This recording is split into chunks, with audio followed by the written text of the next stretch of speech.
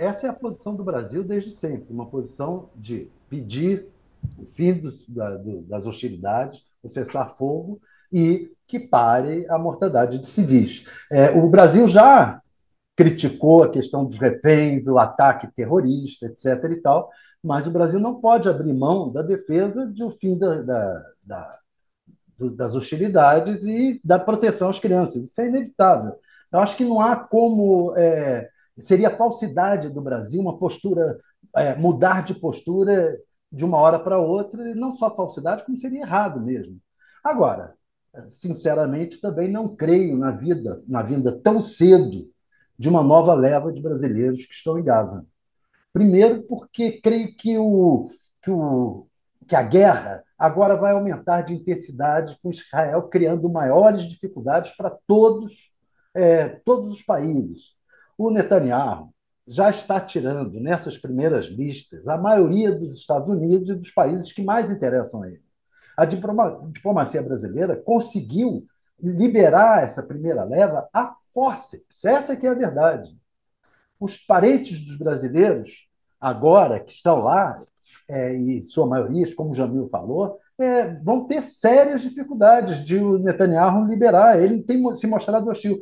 O Lula tem falado com o presidente, normalmente a diplomacia faz o seguinte: você manda um recado para o outro país. Olha, o presidente está interessado em falar com o presidente, com o primeiro-ministro. Você manda um recado. Você sente se há receptividade. Se não houver, não adianta você ligar, porque você não vai ser recebido, só vai divulgar que não é recebido. Então, acho que é isso que está ocorrendo.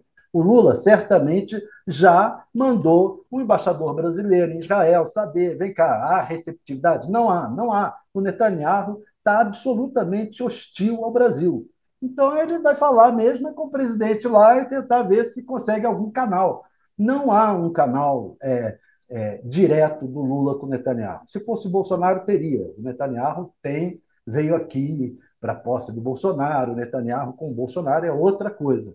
Agora, por outro lado, se fosse Bolsonaro, eu não creio que teria é, aquela ponte aérea que o governo brasileiro montou para trazer os brasileiros que estavam é, no conflito no lado de Israel e esse esforço diplomático gigantesco, inclusive com a avião presidencial, para trazer os brasileiros que estavam, que estavam em Gaza.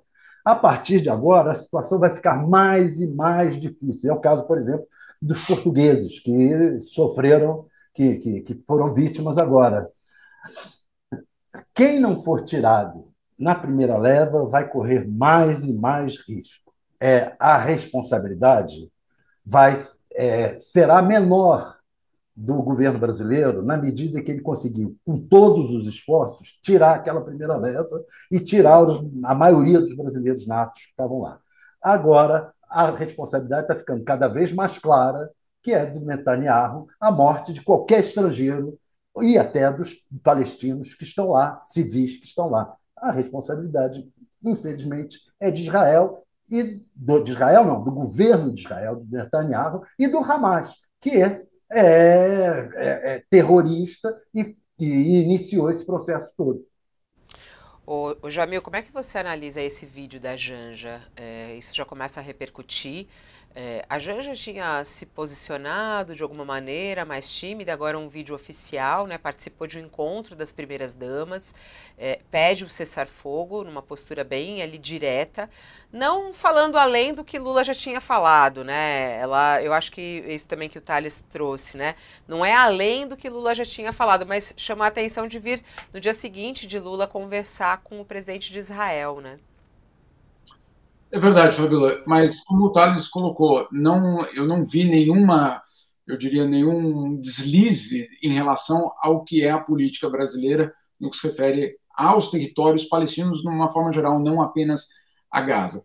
Lembrando que, e aí saindo um pouco da situação brasileira, é, lembrando que a ONU, por exemplo, ela pede, e já pediu ontem de novo, a, que Israel acabe com a ocupação dos territórios palestinos. Então não estamos falando só de Gaza, estamos falando da Cisjordânia, estamos falando de todo um, um contexto maior. Esse é o primeiro ponto, é, e é importante. O outro ponto é a gente sair um pouco da ideia de que esquerda é, está com Hamas e direita está com Israel. Por quê? Vamos, vamos para a Alemanha, por exemplo. A Alemanha é governada pelo Partido Socialista. Né? Quer dizer, a, a esquerda, perdão, não é o nome oficial do partido, mas um partido de centro-esquerda, claramente de centro-esquerda, aliado ao governo Lula, muito próximo com muitos dos seus eh, deputados, tendo ótimas relações com a esquerda latino-americana.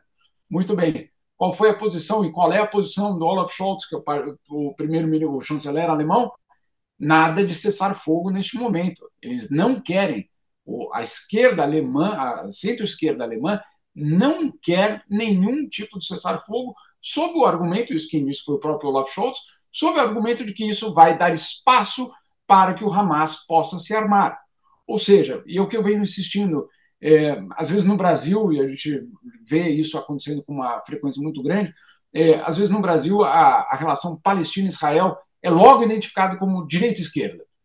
Bom, não, não é exatamente essa a lógica. A lógica, por exemplo, aqui na Europa é um pouco diferente. Insisto sobre esse caso alemão, porque o caso alemão exemplifica muito claramente que você não pode simplificar a, a questão palestina apenas por esquerda e direita. Não é essa a lógica, não é essa a, o, o, posicionamento. Agora, parece que quando chegam as coisas aí no Brasil, né, Fabiola, é, e com a situação que nós estamos no Brasil de racha na sociedade, tudo ganha esse componente de direita e esquerda. É, e é muito curioso, porque vai explicar para os bolsonaristas agora que eles estão ao lado da centro-esquerda alemã. Vamos explicar isso, né? Vamos deixar isso claro que a mesma posição dos bolsonaristas é a posição da, da centro-esquerda alemã que eles tanto criticam cada vez que aparece o Olaf Scholz ao lado é, do Lula.